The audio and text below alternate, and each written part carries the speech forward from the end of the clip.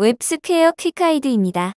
SelectBox의 visibleRowNum 속성과 setVisibleRowNum 함수에 대해 알아보겠습니다.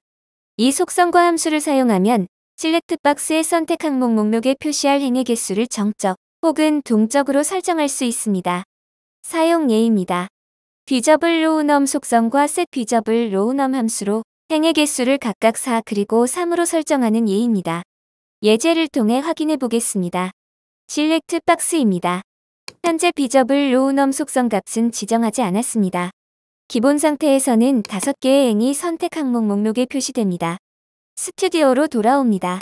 SelectBox의 visibleRowNum 속성 값을 10으로 변경하십시오. 저장 후 화면을 다시 로딩합니다. SelectBox의 선택 목록에는 10개의 행이 표시되는 것을 확인할 수 있습니다. 다시 스튜디오로 돌아옵니다. SelectBox 옆에는 트리거가 있습니다.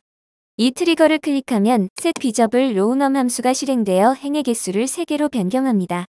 실제로 트리거를 클릭한 후에는 선택 항목에 3개의 행만 표시되는 것을 확인할 수 있습니다. 웹스퀘어 Quick Guide를 시청해주셔서 감사합니다.